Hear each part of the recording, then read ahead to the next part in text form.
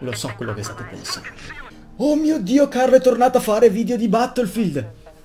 Ebbene sì ragazzi, siamo di nuovo qui, quindi salve a tutti ragazzi, ben ritrovati sul canale di Battle for Games, io sono Carlo, oh mi mancava fare questa, questa intro, dopo mesi forse che, che non facevo più un gameplay in generale, non solo di Battlefield ma in generale, siamo tornati su Battlefield, in particolare su Battlefield Hardline, ce la posso fare, non posso iniziare subito a impappinarmi con le parole. Siamo nella open beta, quella che va dal 3 febbraio all'8 mi sembra, una roba del genere, comunque è uscita oggi, ovvero martedì 3, è il 3 oggi? Sì, penso di sì, e finisce domenica che penso sia l'8. Avevo pensato di fare una specie, una piccolissima serie dove vi volevo presentare le quattro classi che ci sono su Battlefield Hardline, ovvero l'operatore, il meccanico, l'assassino e il professionista.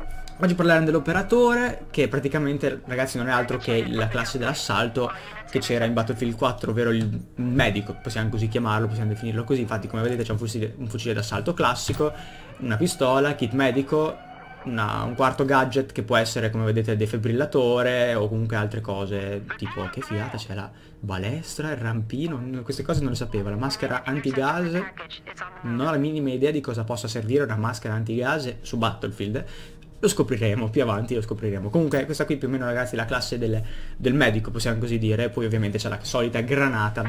Una cosa che ho notato subito ragazzi in Battlefield Hardline è che le, gli oggetti, diciamo gli, gli accessori, gli upgrade per le vostre armi non si devono sbloccare cioè si devono sbloccare però una volta che li avete sbloccati voi li dovete acquistare infatti come potete vedere qui in basso a destra eh, ci sono i miei soldi, quelli che praticamente voi guadagna li guadagnate piano piano uccidendo i nemici, conquistando gli obiettivi e giocando alla fine ragazzi e guadagnate i soldi che potete spendere per acquistare nuove armi, accessori oppure comunque tutti quei gadget che vi possono servire durante le partite.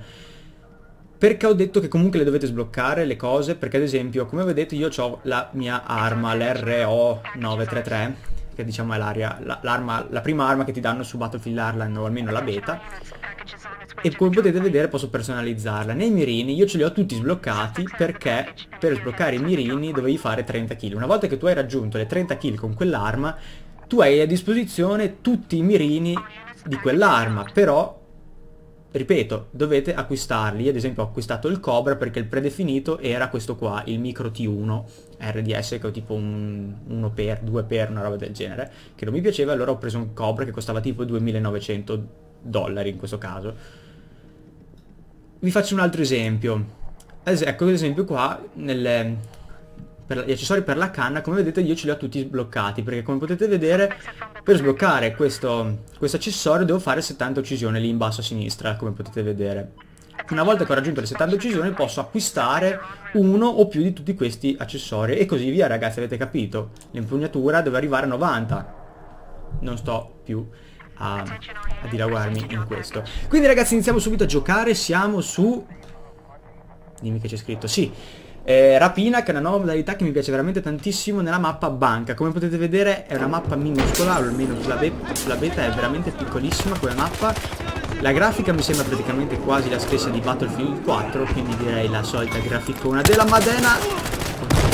Siamo già riusciti a fare una questo è nemico siamo partiti subitissimo bene allora, questa modalità ragazzi mi piace veramente tanto perché come sapete in Battlefield Hardline ci sono, diciamo che le due fazioni sono i poliziotti e i ladri. In Battlefield 4 erano i russi e i cinesi, adesso sono i, i russi e i cinesi, ci ho preso. Vorrei aver detto una stronzata allucinante. Comunque, in Battlefield, 4, in Battlefield Hardline ce la posso fare, ci sono i, eh, i ladri e i poliziotti.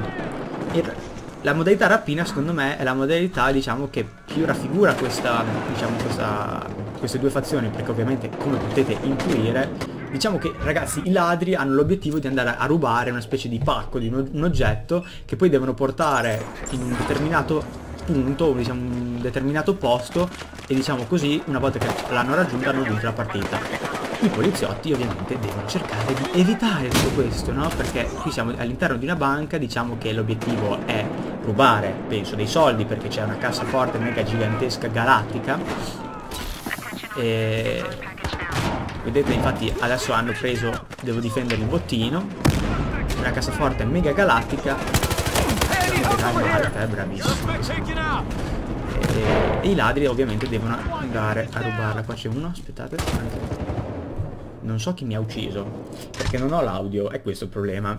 Voi ce l'avete l'audio, io non so però chi mi ha ucciso, da dove e, e perché mi ha ucciso. Vabbè, va bene così.